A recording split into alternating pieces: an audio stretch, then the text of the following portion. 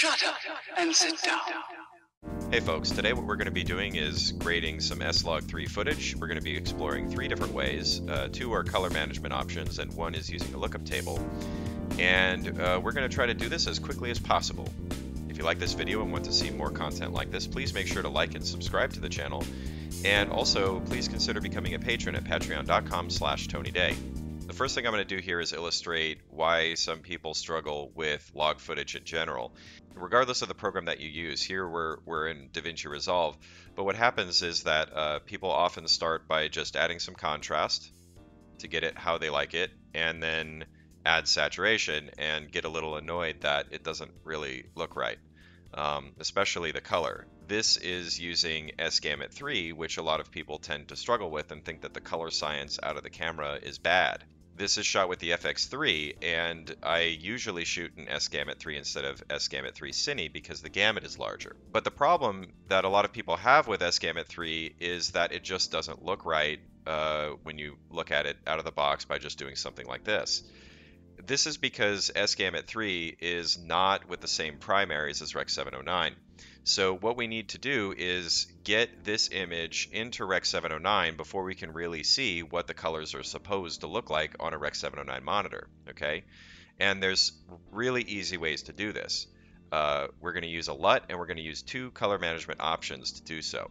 For a lot of people, working in S-Log3 is fine. Uh, I'm not really a huge fan of it, so instead I opt for what I'm used to, which is ARRI log C or several other color spaces. But because there's a LUT that is included with DaVinci Resolve that is for ARRI Alexa log C to Rec 709, we're going to use that lookup table. How we're going to get into ARRI log C is using a color space transform node. We're going to drop this here and we're going to choose S-Gamut 3, S-Log 3. We're going to go into ARRI Alexa and ARRI log C. Tone mapping, we're going to hit none. And then we're going to create a few nodes in the middle. And here on the end, we are going to use that LUT.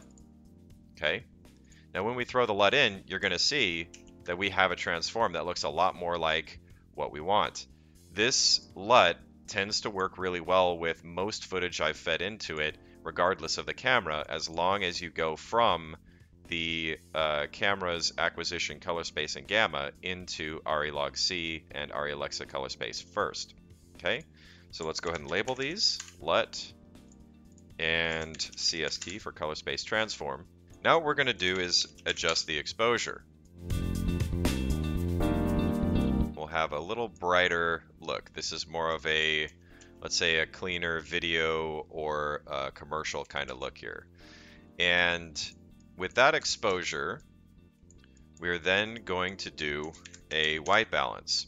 Now in this shot here, you'll notice that there is no white or gray card. So I'm going to copy this. We're going to go to our gray card, hit Control 1, and we're just going to do a quick white balance using the medicine dropper on that. Okay, and now we've got our balance. We'll copy and paste that over here.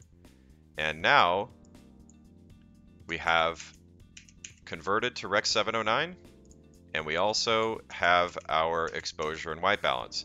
Now at this point you can add whatever flavors or whatever you want, whatever look you want. So I'm just going to quickly do a look that I tend to see people trying to achieve uh, in general.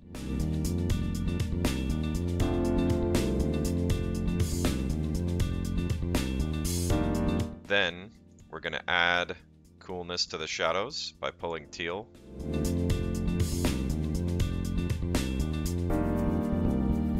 Here, we're going to do a luminance saturation curve. We're going to pull a little bit of desaturation into the shadows, pull the skin tones back up, and then desaturate the highlights. Then we're going to take all of these and we're going to throw them into a compound node. Call that look. All right, now let's look at what we did. This before, after, before, after. This is before the look, after look, before, after.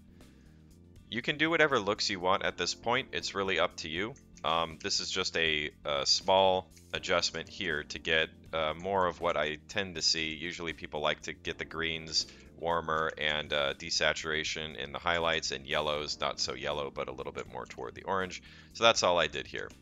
But with that, we have a look and we have a Rec 709 conversion that's pretty easy uh, to do. The next method we're going to use is using Resolve Color Management. We're going to go over here into our settings. We're going to go into DaVinci YRGB Color Managed. We're going to use a custom setup because if you like working in ARRI log C, you're going to want to do this uh, so you can decide what timeline color space you want to use. For the input color space, we're going to select SGamut 3, S-Log 3. Timeline color space, we're going to go into ARRI log C. And then for the output color space, we're going to use Rec 709 Gamma 2.4. Uh, this is going to be graded on a Rec 709 Gamma 2.4 monitor, so that is what we're picking here. If you have an sRGB monitor, you can select sRGB, grade an sRGB, and before your output, you can change it to Rec 709 but we are going to be working in Rec 709 Gamma 2.4. And we are going to, for the input DRT, we're just going to hit none here. Uncheck, use color space aware, we're going to hit save. When we do this method, all of the transforms are going to be done under the hood, so all we're left with is the grades that we want to do for our shots. Now we're going to do basically what we did before. We're going to do some exposure and a white balance.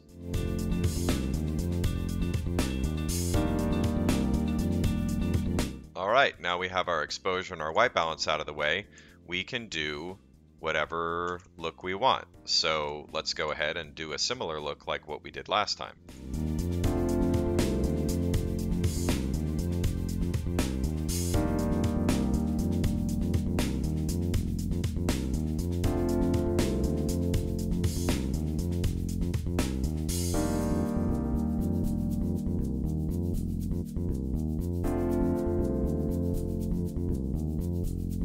Let's look at what we did. This is before the look. This is after, before, after, before, after.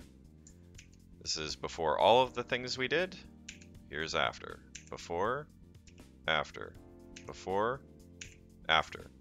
Now, of course, there's a lot more things that we can do if we want to add something like, uh, you know, a vignette to make it look a little bit more dramatic. Let's go ahead and do that. Um, and really, with color management, it makes it a little bit easier because a lot of the work is being done as far as the LUT that you usually have on the end or a color space transform. You don't really have to worry about those things. Um, you can have a much cleaner node tree like you see here.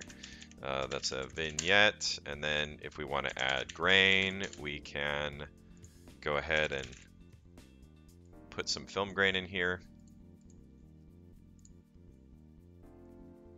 Like that. Okay.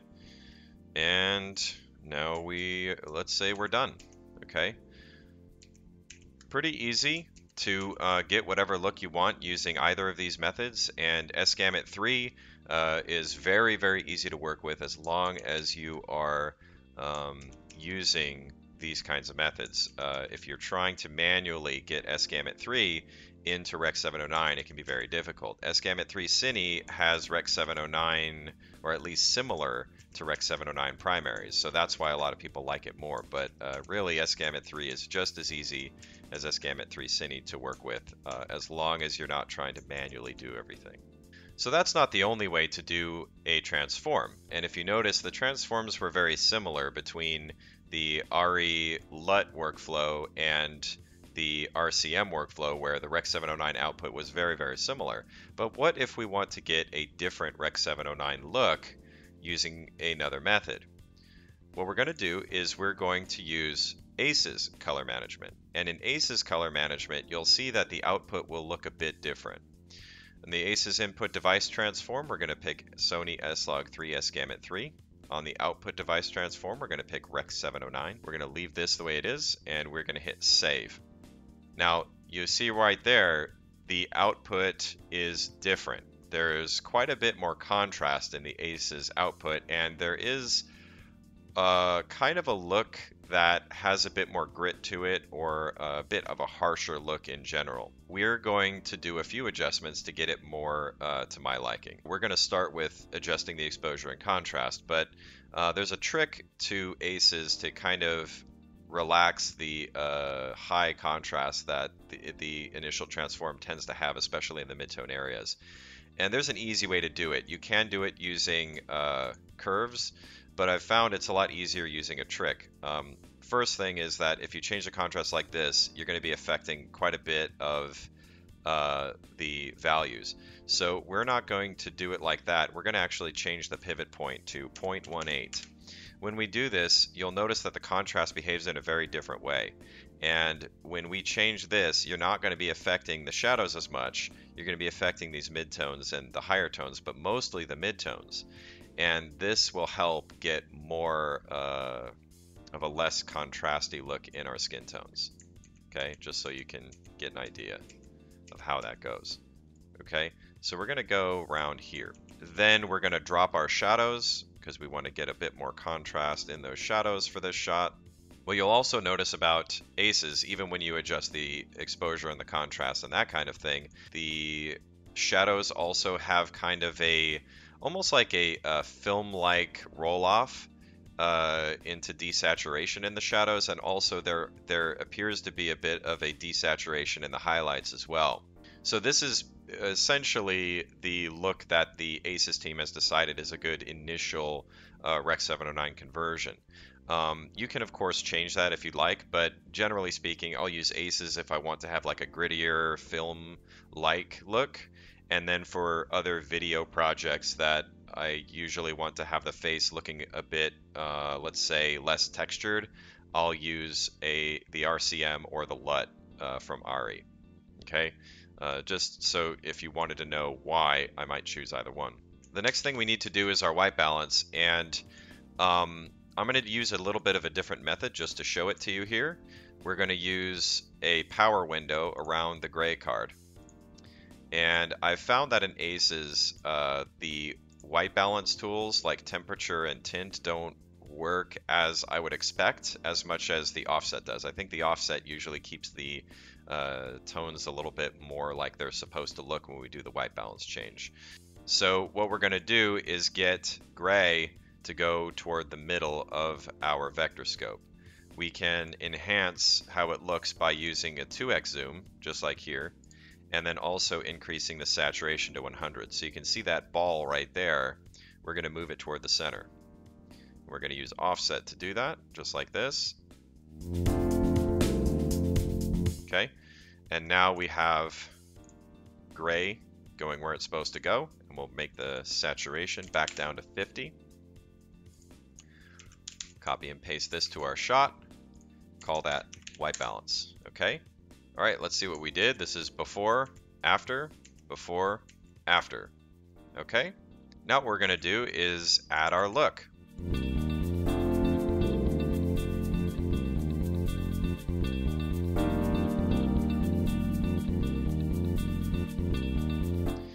Because ACES tends to have a natural desaturation in the shadows and in the highlights, I'm not going to add our luminance saturation curve. So we'll go ahead and add a, a vignette like what we had before, make it look a little bit more uh, dramatic. And then what we're also going to do is to decrease the texture a little bit, we're going to pull down the midtone detail like that. And then to counterbalance the lack of sharpness after doing that, we'll just bring back a little bit of the sharpness there.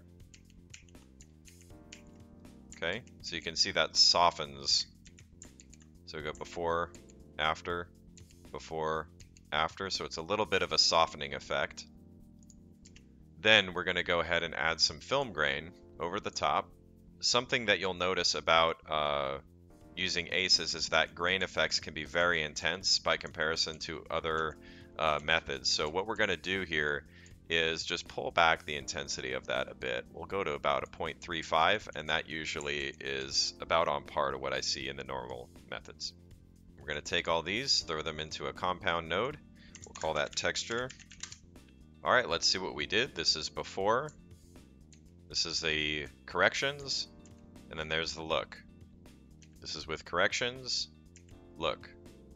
Corrections, look. And that's really all for this video. I just wanted to show you several ways that you can work with your S-Log3 footage. You can do the same thing with S-Gamut 3 Cine. I found that S-Gamut 3, because it's the larger color gamut, tends to work better with uh, color managed workflows where you're working more in log. Uh, like the ACES color space, which is really, really big. Uh, S-Gamut 3 tends to work better in there, and that's just not me saying it. Um, it's also in the Sony white papers that uh, S-Gamut 3 works a lot better for ACES workflows than S Gamut 3 Cine. Um, so I just use S Gamut 3 all the time and I end up with very, very good results uh, very easily. And I do recommend that you should, if you are not used to using all three of these methods, at least try them all out. Try different timeline color spaces and gammas if they work better for you and, and your purposes. You can try using those.